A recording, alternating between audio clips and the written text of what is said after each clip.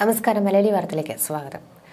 Medical വിദ്യാർത്ഥികൾ സഞ്ചരിച്ച car കളർകോട്ട് K S R T C ബസ്സിലിടിച്ച് പരിക്കേറ്റ് ചികിത്സയിലിരിക്കെ മരിച്ച ആലപ്പുഴ മെഡിക്കൽ കോളേജിലെ ഒന്നാം വർഷ എം ബി ബി എസ് വിദ്യാർത്ഥി ആൽവിൻ ജോർജിന് വിട നൽകി സഹപാഠികളും അധ്യാപകരും.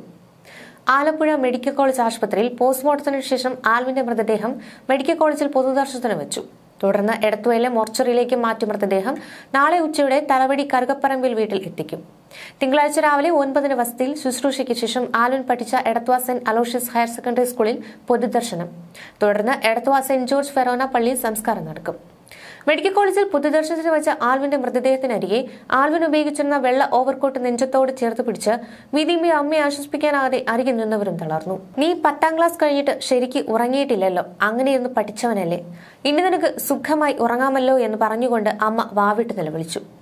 മകന്റെ പുതപ്പും പഠനവേഷമായ വൈറ്റ് കോട്ടും നെഞ്ചത്തോട്ട് ചേർത്ത് പിടിച്ച് അമ്മ കരയുമ്പോൾ ക്യാമ്പസ് മരവിച്ചു നിന്നു.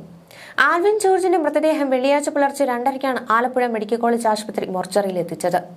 അച്ഛൻ കൊച്ചുമോൻ ജോർജും അമ്മ മീനയും സഹോദരി കെൽവിനും മൃതദേഹത്തെ അനുഗമിച്ചു. രാവിലെ എട്ടരയോടെ ആരംഭിച്ച പോസ്റ്റ്മോർട്ടം നടപടികൾ ഒൻപതരയോടെ പൂർത്തിയായി. മോർച്ചറിയുടെ പുറത്തെ മുറിയിൽ മൃതദേഹം കിടത്തിയപ്പോൾ പുറക്കാട് മാർസ്ലീവ ഫെറോന വികാരി father Suriya Pazhayamadom father Thomas Choolaparambil എന്നിവരുടെ നേതൃത്വത്തിൽ ഒപ്പീസ് ചൊല്ലി. പ്രിയപ്പെട്ടവനെ യാത്രയാക്കാൻ കൂട്ടുകാരും സഹപാഠികളും മുതിർന്ന വിദ്യാർത്ഥികളുമെല്ലാം കാത്തിരുന്നു. ഒരേ ബാച്ചിലെ ആറുപേർ അപകടത്തിൽ മരിച്ചതിന്റെ ഞെട്ടലിൽ നിന്ന് ആരും മോചിതരായിട്ടില്ലെന്ന് വ്യക്തമാക്കുന്നതായിരുന്നു ഹൃദയപേരകമായ ആ കാഴ്ച. അതിനിടെ കാർ ഉടമയ്ക്കെതിരെ മോട്ടോർ വാഹന വകുപ്പ് കേസെടുത്തു. വാഹന ഉടമയായ വളഞ്ഞവഴി സ്വദേശി ഷാമിൽ ഖാനെതിരെയാണ് കേസെടുത്തത്. വിദ്യാർത്ഥികൾക്ക് നിയമവിരുദ്ധമായി വാഹനം വാടകയ്ക്ക് നൽകിയെന്ന് കണ്ടെത്തിയതിനെ തുടർന്നാണ് നടപടി.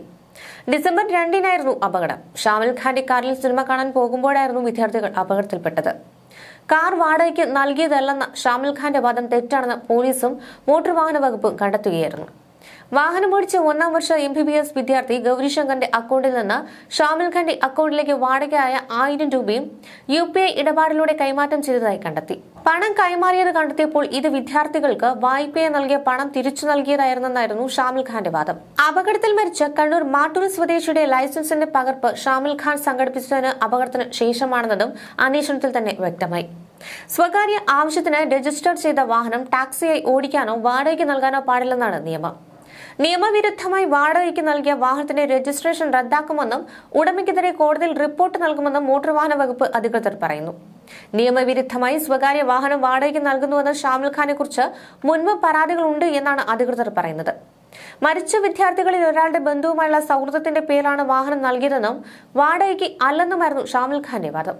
ന്യൂസ് ഡെസ്ക് മലയാളി വാർത്ത.